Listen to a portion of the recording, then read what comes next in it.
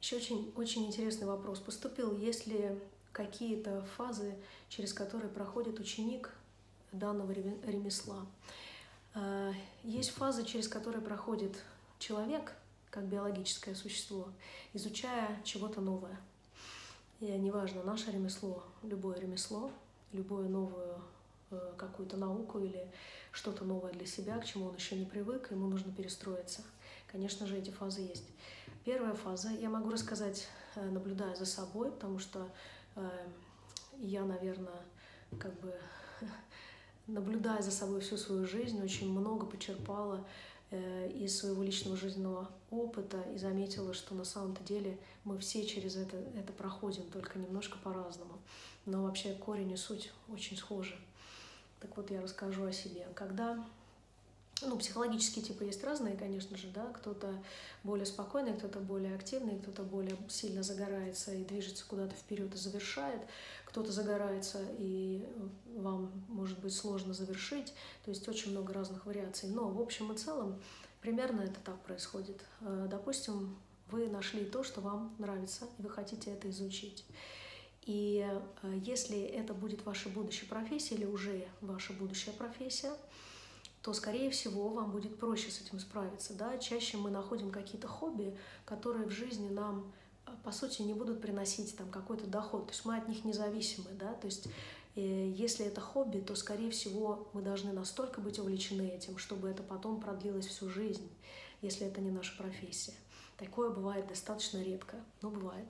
Но если это ваша профессия, и вы уже, развиваясь в вашей профессии, изучаете какое-то новое направление, допустим, переходите от визуального к техничному, и вам необходимо наработать моторику тела и пройти через процесс развития, то вначале вы почувствуете а, эйфорию, да, то вы, вы увидите человека, который умеет делать так, как вы хотите, вы почувствуете эйфорию, вам захочется это делать, вы ринетесь это делать, начнете это делать э, усиленно, часто, постоянно, и в какой-то момент, в какой-то момент вам покажется, что вы не сдвигаетесь с места. То есть вначале информация хлынет на вас такой волной, она вас возбудит, поднимет на гребень, вы почувствуете, да, это то, что мне нужно, но потом, когда эмоциональный ваш спад начнется, вы начнете как бы немножко успокаиваться, вы поймете, что вам нужно, оказывается, очень много перелопатить и переработать.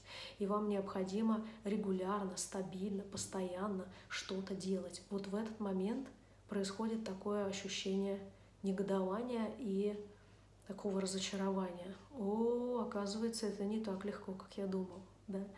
А, в этот момент, если вы действительно горите этим делом, вы переборете себя, перейдете и, опять же, включив свой интеллект, продумайте, как мне спланировать свое развитие так, чтобы я не перегорел и чтобы э, я прошел этот путь длиной в год или в пять лет, обычно на ремесло столько уходит, на наше ремесло примерно столько уходит, за год вы осваиваете фундаментальные формы и техники, то есть моторику нарабатываете. Через год вы уже более-менее в этом разбираетесь, вы начинаете уже пробовать комбинирование, комбинируете формы между собой, делаете ошибки, учитесь на этих ошибках.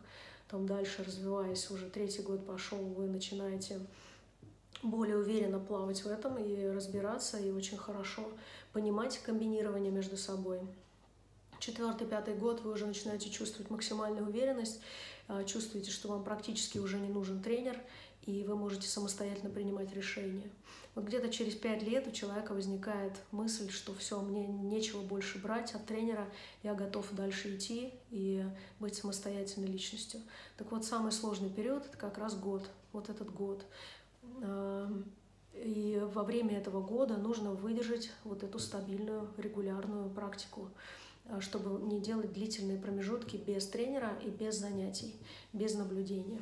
Если эти промежутки будут появляться, то, к сожалению, вы будете не удовлетворены, не не удовлетворены процессом, эм, не удовлетворены результатом, который у вас э, появляется, и вы видите его, и это не то, что вы хотели бы.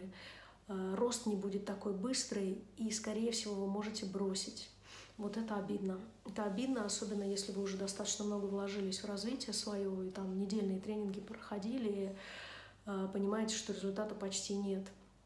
Поэтому я всегда советую вот этот год все-таки, если вы решили до конца уже для себя решили, что да, это тот путь, которым я хочу пойти, идите на тренинг мастерс, и за год э, тренер вас протащит через вот эти сложные психологические моменты, этапы, и вы выйдете вот в этот вот второй год, где вы уже более-менее будете чувствовать свою уверенность, будете видеть результат в формах, и будет уже сложнее бросить.